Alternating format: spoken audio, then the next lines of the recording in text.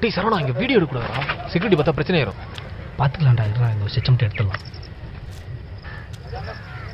டேய் யாரும் வர மாதிரி இருக்குடா.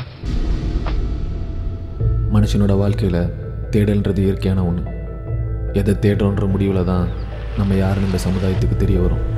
என்னோட இந்த தேடலுக்கு தூண்டுதலும் கருவும் சரவணன் நீ இந்த பத்மநாபன் கோயில் இஷ்யூ பற்றி கேள்விப்பட்டிருக்கல பதிமூணு லட்சத்தி நாற்பதாயிரம் கோடி அந்த கோயிலோட மொத்த சொத்து மதிப்பு. கோவிலுங்கிறதே இந்த மாதிரி சொத்து புதையல் மறைச்சு வைக்கிற இடமா இருந்தா அப்போ கடவுள்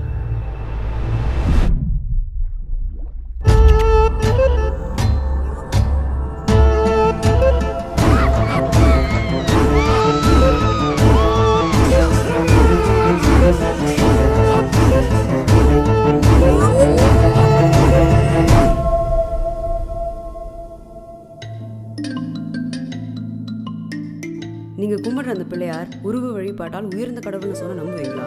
எதையுமே மேலோட்டமா பார்க்காதீங்க. அது மிருகங்கள் மனிதனை வேட்டையாடிய காலம். தன்னையும் தன் சக கூட்டத்தையும் மிரட்டி அளித்த மிருகங்களை கொல்ல பயன்படுத்திய கல்லை கடவுளாய் பார்த்திருக்கலாம். கடவுள் நம்பிக்கையே வந்து மனிதர்களால் உருவாக்கப்பட்டதுன்னு சொல்லியிருக்கீங்க? அது குடும்பமாக அல்ல கூட்டமாக வாழ்ந்த காலம். கூட்டத்தை வழிநடத்திய தலைவன் பின் அவன் வழி தலைவன் என்று தலைவனை கடவுளாக பார்த்திருக்கலாம்.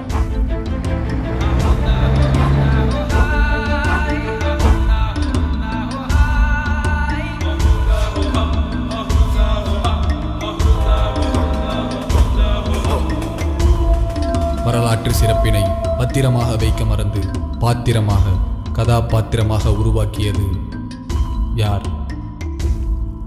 நம்ம வரலாற்று சிறப்பு கொஞ்சமாவது நமக்கு தெரிஞ்சிருக்குனாவே அது காரணம் அடையாளமாக இருக்கிற அந்த கோயிலும் கடவுளும் தான்.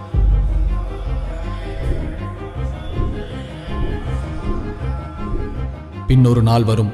என்னைப் போல் ஒரு முட்டாள் உன்னைப் போல் ஒரு மேதாவியிடம் இதே கேள்வியை கேட்டால் அவனிடம் என்ன கதை சொல்வாய்?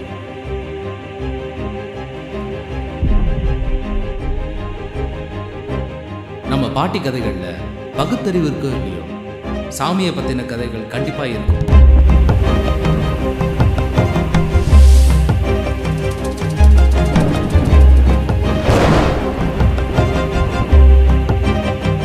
சிவா அங்கே உருவான நம்பிக்கை சாதாரணமானது இல்லை